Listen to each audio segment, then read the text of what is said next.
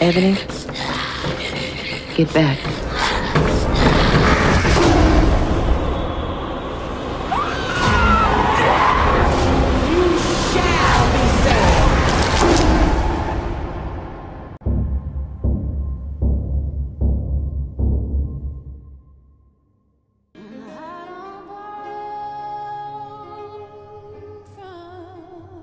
The movie opens in Pittsburgh, Pennsylvania in 2011, where we see a boy named Andre Jackson drawing something on the wall of his new home. He calls out to his mother, Ebony, and shows her his drawing. Ebony asks him to come help her make dinner and leaves there, and the scene shifts to a church where we see Ebony's mother, Alberta, who is battling cancer. Later, while Ebony is having dinner with her mother, Alberta, and her three children, her eldest teenage son, Nate, preteen daughter, Shante, and young son, Andre, Alberta asks why she wouldn't let her take Andre to church. Ebony replies that it's because he didn't want to go, and she doesn't like forcing him to do things he doesn't want to do. Alberta then complains about there being too much garlic in the food, to which Ebony responds that part of the agreement when Alberta moved in was that she wouldn't have to hear any comments about how she runs her household. Andre asks for more milk, and Ebony reminds him that he shouldn't have had any in the first place, since he's lactose intolerant. Andre retorts that she's never taken him to a doctor to confirm that, and she's just being cheap.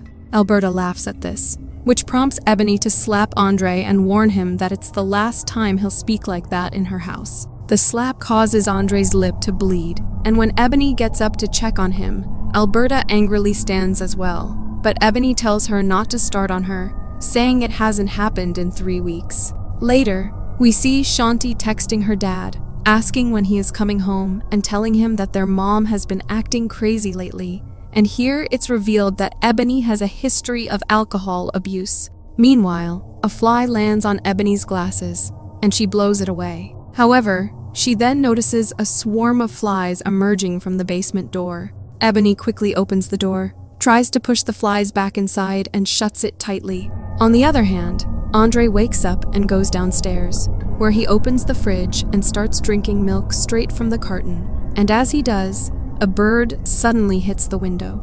Andre steps outside of the house to check on the bird, and the scene cuts here. The next day, Ebony receives a call from the bank informing her that after three months of missed payments, the company's policy requires them to repossess her car. While on the call, Ebony discovers a bottle of vodka and some cash hidden in Nate's closet. She confronts Nate, who denies using it and claims he was hiding it from her. As he walks away, she notices blood on Shante's shirt, and Shante explains that the corner boys are responsible. Furious, Ebony confronts the boys and strikes one of them, warning him never to touch her family again. When Ebony returns home, we see Andre talking to someone unseen, who claims to live there as well, and says he is his brother. Ebony notices the flies again and interrupts Andre, asking him what she told him about talking to himself, before telling him to get back inside the house. Later, Ebony tells Shante that they might wait until her father gets back to have her birthday party. Shante asks, So, no party? To which Ebony suggests they could just have a small celebration, like a nice dinner. Shante asks, What about my new phone? To which Ebony replies that her phone isn't going anywhere. Upset, Shante storms off, saying she's tired of being broke, and Andre chimes in, agreeing with her. That night, Ebony is startled to find the basement door open and quickly closes it. The next day, Alberta visits the hospital for her treatment and flirts with a doctor named Melvin, who suggests they meet outside to exchange numbers. As Alberta is leaving, the receptionist stops her and informs her that her last two months of bills are still unpaid. Alberta replies that she will call Medicaid on Monday to sort it out, but the receptionist tells her that they stopped accepting Medicaid over a year ago. Surprised, Alberta asks who has been covering her payments, to which the receptionist reveals that Ebony has been paying, so she wouldn't have to switch clinics. That night, when Ebony returns home, Alberta tells her that the hospital informed her that she has been making her payments, to which Ebony responds that they shouldn't have shared that information. Alberta says she doesn't know what to say, to which Ebony tells her she doesn't need to say anything, and then walks away. Later, Ebony dreams of a man descending into the basement, and suddenly, he appears in front of her, causing her to wake up, and she sees the door closing. She goes downstairs, thinking someone may have broken into the house, and finds the basement doors open again. She shuts the door, but the foul smell from inside nearly makes her vomit. As she turns around, she is startled to see Nate standing there. She tells him that she is okay, but Nate asks where his money is. Ebony asks where he got all that money and warns him that if he's involved in selling drugs, she'll use his bad on him. Nate explains that his father sends him money orders, which he cashed to save up to leave her. Nate asks for his money again, and when Ebony slaps him, he pushes her back and says he hates her. Realizing his mistake, he tries to make amends, but as Ebony moves to confront him,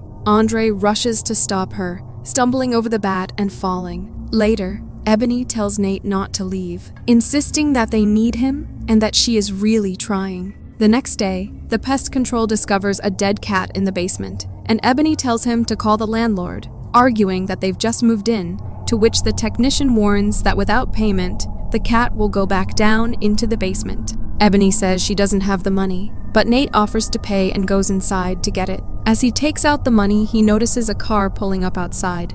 Cynthia, Ebony's DCS officer, visits their house and asks Ebony why didn't she inform her office about the move, to which Ebony responds that she wasn't aware she had to. Cynthia then mentions that she visited the kids' school and found their reports to be concerning. She asks Shante about a bruise on her arm, and Shante replies that she doesn't remember how it happened and that it was there when she woke up. Cynthia then asks Andre why he is hunched over, and he explains that it's from the playground. Cynthia tells the kids that she needs to speak with their mother alone, and as they are leaving, Cynthia gives her card to Shante, asking her to call her anytime. As Shante leaves, Ebony tells Cynthia that she has nothing to do with the bruises. Cynthia responds that she's not here to make her life harder, but is focused on the welfare of the children. She asks her if she has been drinking, to which Ebony replies that she drinks occasionally, like everyone else. Cynthia then mentions that their father made allegations in court about drug use,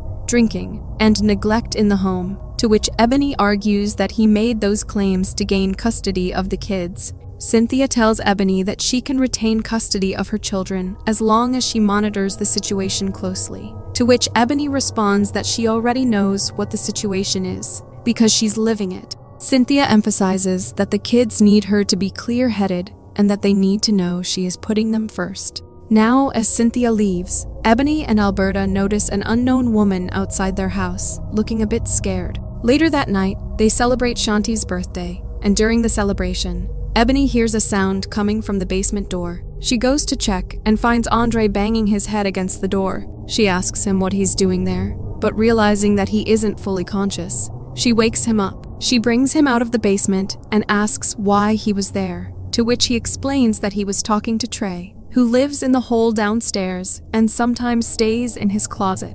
Noticing that he is burning, she brings him to his room and puts an ice pack on his forehead. Later, Ebony drinks too much and starts dancing provocatively with some men, which Alberta and Ebony's friend Asia doesn't like at all. Asia begins to leave the party, and when Ebony tries to stop her, Asia responds that they have a job to get to tomorrow. Ebony returns only to find that everyone is gone, and Andre is standing in a corner. She tells him to go to bed now, to which he says he is scared, but she asks him what is going on with him and pushes him to go to upstairs.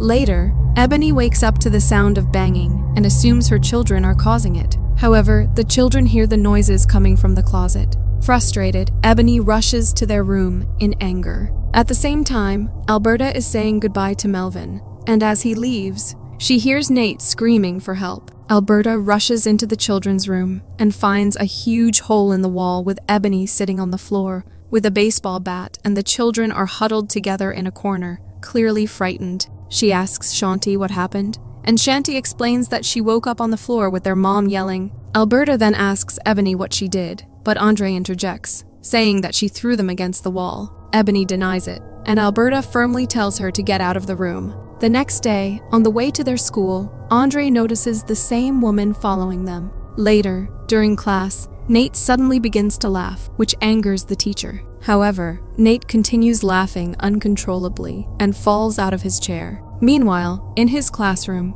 Andre starts pottying. In another class, Shante says something to her teacher that shocks him, and he notices she is bleeding. Andre's teacher tries to get him to stop, but he throws his potty at her. Ebony receives a call from an unknown number, and her expression quickly turns to worry. The scene shifts to the hospital, where Shante and Nate are admitted for checkups. And during Andre's evaluation, he is shown a series of pictures, and when a picture of a crow appears, he says, That's Trey. Later, Ebony is informed that her children's reports look good, and that the psychological evaluations found nothing unusual. However, Ebony responds that her son ate his own feces today, prompting the doctor to ask if the children have been under any psychological stress recently. Ebony explains that it's their third home in a year. Their father is in Iraq, and they don't know when he'll be coming home. Alberta tells Ebony to lower her voice, reminding her that the doctor is trying to help as best she can.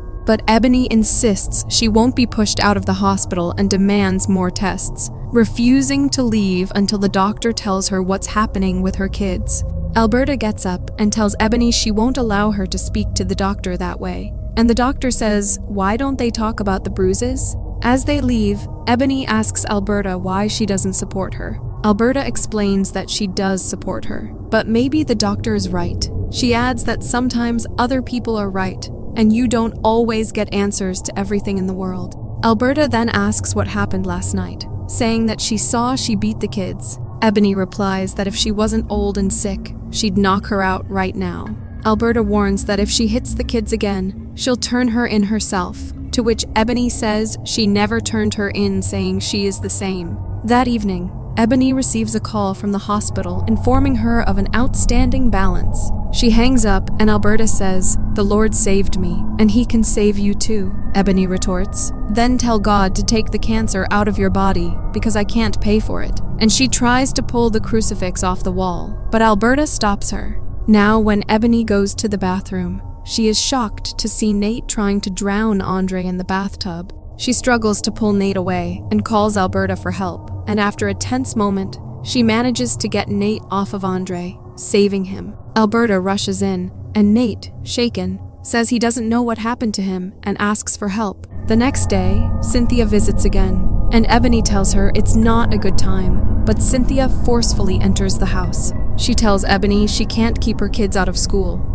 to which Ebony responds that the house is making them sick. She explains that she can feel it and hear things, and whatever it is, it's infecting her kids. Cynthia mentions she talked to the doctor at the hospital, and Ebony snaps that the doctor didn't even look at her kids properly and was judging her. Cynthia says the doctor believes the kids are behaving this way because they think that's what Ebony wants. To which Ebony tells her that Andre was in the closet, speaking a language she had never heard before, and said a little boy told him to kill himself. Cynthia says she's tired of her excuses and insists on seeing the kids, to which Ebony accuses her of walking into her house with a judgmental attitude, saying maybe if she had kids, she'd understand. Cynthia reveals that she did have a son, Julian, who died when he was seven. She had turned her back for just two seconds, and when she turned back around, a car had hit her baby. She says that when she sees mothers like Ebony taking their kids for granted, it makes her sick. Ebony insists she isn't doing anything to harm her kids, but Cynthia demands to see them. Alberta comes downstairs, holding a bat, and seeing this, Cynthia decides to leave, shouting to stop hitting the kids. Ebony follows her, denying that she hits them, and Alberta warns her to calm down or they'll lose the children. After Cynthia leaves, Alberta approaches the woman who has been taking pictures and accuses her of working with Cynthia, prompting the woman to quickly drive away. Alberta goes to her church for help and explains that the kids don't remember anything after coming out of their trances, and she believes there is something evil in their home that is feeding on her family. However, she is told that their church does not handle those kinds of situations and that she should try seeking help at another church. Meanwhile, the woman confronts Ebony and tells her that her children are ill and that there is an evil spirit in her house. She introduces herself as Bernice and reveals that she is an apostle and goes wherever God sends her. Ebony asks, So, Jesus sent you here to save us? To which Bernice responds that she needed to confirm her suspicions before intervening. She shows Ebony a photo of Janelle and Ahman, who lived in the house 20 years ago. She explains that it was their first home and that they were very proud of it. They had moved there from Memphis in 93 and were members of her church. When Ebony asks what happened to them, Bernice explains that Janelle and Ahman took their son to several doctors, but none of them could find anything wrong with him. That's when they turned to her, so she had to perform a deliverance to cast out the demon. Ebony asks, like in the movie The Exorcist? To which Bernice replies that she doesn't perform exorcisms because she doesn't need an intercessor, as Jesus Christ is her intercessor. She says that when one acts with the power and authority of Jesus Christ, just touching a body can make a demon flee. She adds that, as soon as she walked into that house, her nose was filled with the smell of death, and she had never encountered such a powerful evil before. She was unable to match its strength, and it laughed at her, and ultimately, she lost the boy. When Ebony asks what she means, Bernice admits she doesn't know what happened in the house after that. In a flashback, we see Janelle killing Ahman one night by severing his head. Afterward, she starts laughing maniacally, only to break down crying when she realizes what she has done. Just then, their daughter comes there, and Janelle rushes towards her to kill her. Bernice tells Ebony that Janelle strangled the girl and then hanged herself. Meanwhile, Alberta experiences a series of paranormal activities in the house before she is attacked by an entity.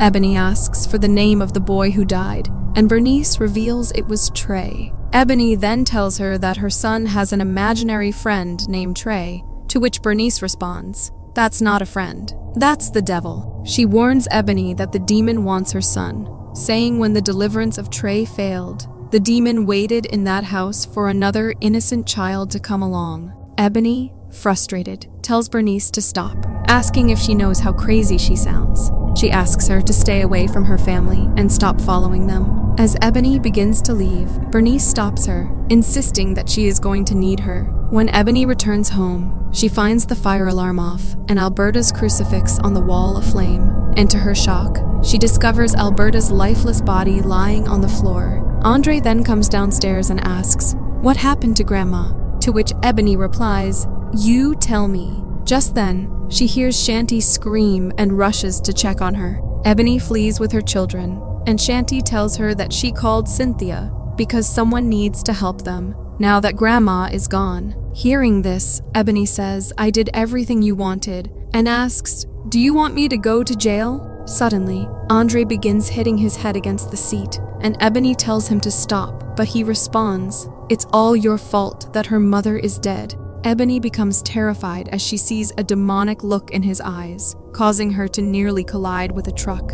Panicking, she stops the car and runs to a nearby diner for help, where a man approaches her, urging her to calm down and asks what's wrong. She frantically tells him, Something is killing my kids. The man rushes outside to check on the children and finds them sleeping peacefully. We then see Ebony with a psychiatrist, who asks if, in the past six months, she has ever thought about harming herself or her children. Ebony replies, No. The psychiatrist then inquires if she currently uses drugs or alcohol, to which Ebony admits to having used alcohol a few weeks ago, but denies using drugs. The psychiatrist points out that this isn't entirely true, as they conducted a blood test when she arrived at the hospital. The psychiatrist then asks if familiar surroundings ever seem strange, threatening, or unreal to her, and if she has heard unusual sounds, such as banging or chirping in her ears. To which Ebony says yes. Later, Cynthia visits Ebony and informs her that they are sending her children to a church foster care. Ebony rushes to stop them but finds the door locked. The next day, Ebony visits Bernice and asks what the demon wants, to which Bernice replies that it wants her baby and to take everyone in the house. She explains that the demon preys on the weak, and right now she is vulnerable, but they are about to make her strong. Meanwhile, Cynthia sees Andre, and the nurse informs her that he has been growling and hissing all night, and a little while ago, he was speaking in another language. After some time, Andre stops, gets up, and gives her a chilling, deadly look. On the other hand, Ebony tells Bernice that she tried talking to God when she was little. She experienced bad things growing up and asked God to make them stop, but nothing changed. Bernice explains that faith isn't transactional. She tells Ebony that their efforts aren't just about keeping her son safe from a demon, it's also about understanding that God loves her. Meanwhile, Cynthia approaches Andre, who says he likes watching you sleep. And when she asks who he's referring to, he replies, Julian. Cynthia inquires if his mother mentioned she had a son, to which Andre responds that his mother is dead and that God is dead too. When Cynthia asks why he would say that, he replies that he is not Andre, and when she asks who he is, he demands to be unstrapped to reveal his identity. Cynthia insists that's not how it works. But suddenly, the straps release on their own, and he jumps out of bed, and Cynthia, terrified, watches in horror as he climbs backward up the wall. Later, Ebony visits the hospital disguised as a nurse and enters Andre's room. And as she tries to take him away, he suddenly opens his eyes, startling her. However, he soon loses consciousness again. Bernice and Ebony bring Andre back to their home, where Bernice warns Ebony to remember that whatever the demon says, she should not listen. The demon will exploit her emotions and appear as people she loves. Bernice then begins the deliverance ritual and instructs Ebony to stand back. As she sprinkles holy water on Andre, the demon starts screaming and soon takes on the form of Alberta, pleading with Ebony to remove the chains from her. Bernice continues the ritual, and the demon tells her that he is going to kill her. Meanwhile, we see Nate and Shante also getting possessed and begin manifesting supernatural injuries. As Bernice continues, the demon begins hitting its head against the seat, and suddenly it breaks the chains and falls down the chair. He then slides into a corner and laughs at them, immediately followed by the house shaking violently. Ebony and Bernice struggle to maintain their composure, and Bernice tells Ebony to lock the door and go upstairs until it's over. Bernice then confronts the demon, which taunts her, saying that she promised she could save the boy's soul, but now he is trapped with them. The demon then gets up and vanishes right in front of her eyes. An unseen entity then strangles her before slamming her against a wall. It then lifts her again, and the scene shifts to the hospital, where we see Shante bleeding and Nate harming himself, both under possession. Meanwhile, when Ebony comes downstairs, she is shocked to find Bernice unconscious and Andre sitting beside her. Ebony demands the demon leave her son, but Andre asks what is happening to him before vanishing once more. Confused, Ebony looks around, and Bernice, in her fading state, tells her that she is dying. Bernice confides that she doubted herself and was overcome with fear. Ebony then enters the basement looking for Andre, where she finds him, and he asks her if can she help him? However, as she approaches him, he sees the holy water in her hands and turns demonic. Ebony throws holy water on him, causing his body to burn, and falls on his knees. This makes the demon furious, and he lunges at her, causing her to fall, and then it begins to hit her. He then drags her away and tries to strangle her, and then she takes her form. It tells her that he gotta kill all of them. But suddenly, she finds that the demon has disappeared and she is all alone. She looks around, but suddenly the demon appears and slams her down. It then possesses her and controls her body, causing her to injure herself. Ebony maintains her composure and cries out Jesus' name, enraging the demon, and it attempts to kill her by strangling her. As Ebony begins to lose consciousness, happy memories of her life with her children flash before her eyes, and the scene abruptly cuts out. As the demon begins to leave, believing Ebony is dead, it is shocked to see her standing. The demon taunts her, saying that nobody loves her, not even her mother, to which Ebony responds that her mother loved her and that she is a child of God. She rebukes the demon in the name of Jesus, and the demon pleads with her to stop and not do this to them. Despite its attempts to possess her, Ebony continues her prayers, and eventually, the demon catches fire and is dragged into hell. After a few days, Cynthia visits Ebony and informs her that she has spoken with her boss, and they have a battle ahead. Ebony is determined to get them back and asks how the kids are doing, to which Cynthia replies that they don't remember what happened. Ebony then tells her that she is returning to Philadelphia to stay with her aunt until she can find a house for herself and the kids. Six months later, the juvenile court granted a petition from the Department of Children's Services. Ebony finally got her children back. On their way back to Philadelphia, Ebony tells Nate that she has been in touch with their dad and that they are going to try and work things out. Thanks for watching. If you enjoyed the chills, hit that like button, subscribe, and turn on notifications so you never miss a scare. Until next time, stay spooky.